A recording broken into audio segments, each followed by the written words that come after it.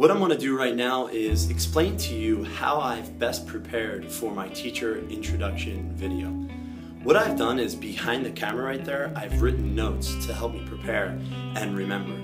So now I'm going to take a little break and I will give you my actual teacher introductory video. Hi, I'm Matt Devine. I'm really looking forward to the opportunity of working abroad in Korea especially.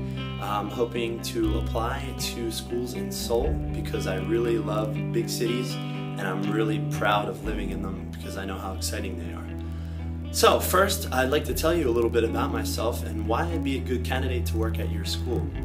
First, my accomplishments.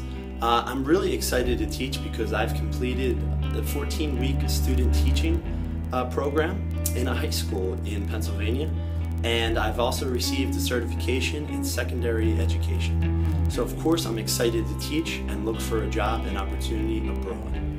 Secondly, uh, my skills are that I believe I'm very personable uh, in front of new people and in front of a classroom.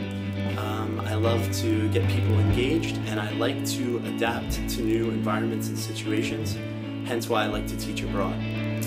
Also, I believe I'm a great teacher because number one, I love education, I love the study of it, and I'm trained.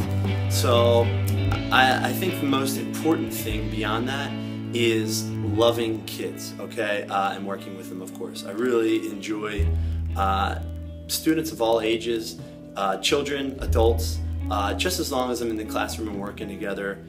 It's exciting and I'm all smiles every day. Um, the last thing I'd like to talk about is something interesting about myself.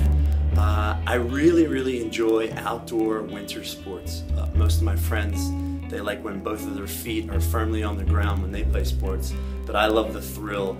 Uh, for example, I was a downhill ski racer uh, at university.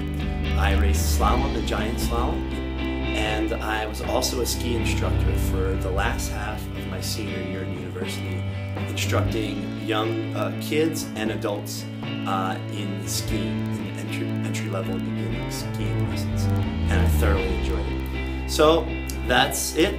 I hope to hear from you soon, and I really look forward to the opportunity of teaching English in Korea. Thank you so much.